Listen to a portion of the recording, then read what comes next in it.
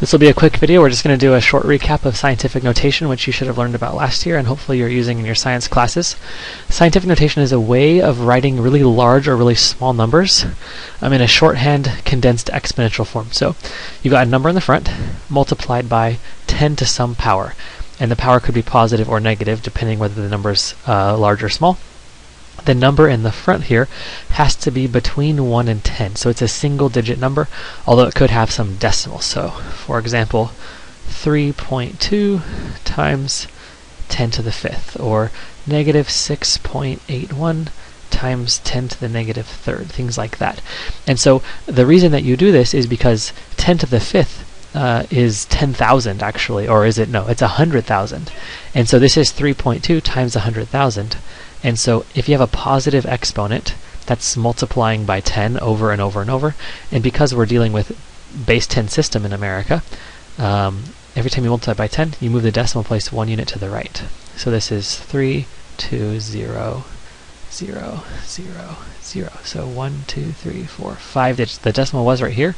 1, 2, 3, 4, 5. So this is the same as, this right here is the same as 320,000.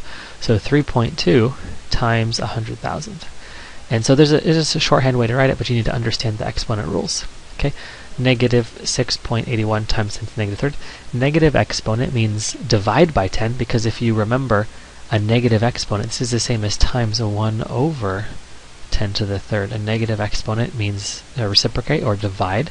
And every time you divide by 10, you move the decimal place to the left. So 1, 2, 3. So we have to add a 0 here, we have to add a 0 here, and then put a decimal. So this is going to be point zero zero six eight one. So um, just bear in mind that the exponent tells you how many places to move the decimal place left, right, and it's a shorthand way of writing it. Okay, so here's a, a little bit of uh, text to kind of explain that idea. To convert between standard form and scientific notation, move the decimal place left or right and decrease or increase the exponent to compensate. So if you increase the exponent by 1, you need to move the decimal place to the left, and if you decrease the exponent by 1, you need to move the decimal place to the right. And then remember that overall, a positive exponent is going to give you a large number, and a negative exponent is going to give you a small number. If you accidentally get this stuff backwards, this will save you, right?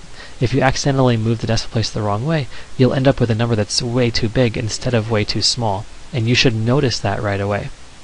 Last thing to comment is, when multiplying or dividing numbers using scientific notation, you don't have to convert them to standard form first. You can just use your exponent rules. So they're great for that.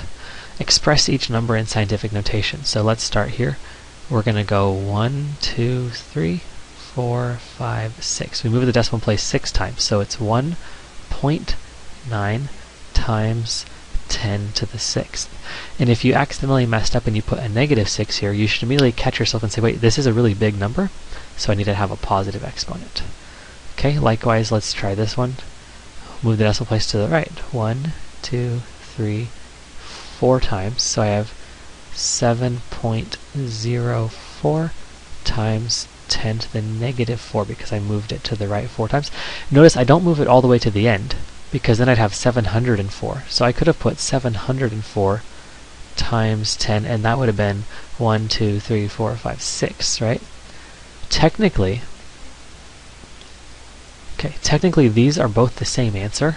However, only the top one is in scientific notation because remember this number in the front here has to be between 1 and 10.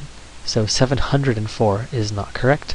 In fact, if I have 704, I need to move the decimal place twice to the left so that my result is just a 7, which is between 1 and 10.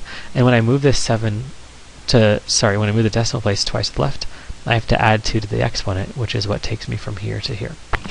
Okay, express each number in standard form. We already did a couple of these examples, so I'll skip ahead. Now evaluate the product when multiplying two numbers. Um, because when you're multiplying, you can do them in any order.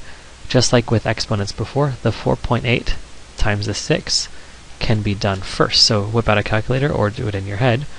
4.8 times 6 is going to give me 28.8. 28.8 times 10 to what power? Now, 10 to the fourth and 10 to the sixth, I add the exponent because I'm multiplying the base, keep the base the same, add the exponent, 4 plus 6 is 10. Now you might think you're done, however unfortunately our coefficient is not between 1 and 10, so I need to move the decimal place over 1, and I want to put 2.88 times 10 to the what? Now is it a 9 or is it 11?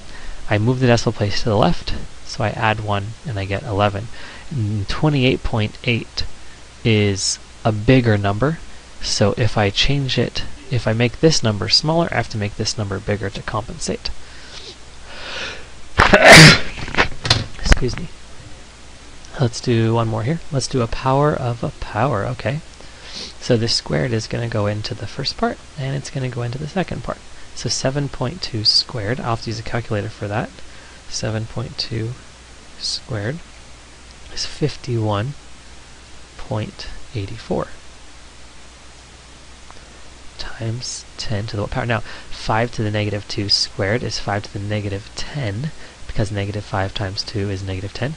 And again, just like before, I have to move the decimal place over 1. So I have 5.184 times 10. Now, I move the decimal place 1 to the left, so I add 1 to the exponent. But if I add 1 to a negative 10, I get negative 9. So, uh, when you divide, you do the same thing. Divide this top number by the bottom number. So 4.2 divided by 3. Calculate that up and you get 1.4 times 10 to... Now, 10 to the 5th divided by 10 to the negative 3rd. When you divide, you subtract 5 minus a negative 3 is 8. Or you could remember that if we think of it as a combat or something, you've got 5 of these guys. Because this is a negative exponent, they're on the wrong side. They need to move up and join them. If you have 5 here and you put 3 more there, you have a total of 8. Okay, so that's enough examples for now, but you get the idea.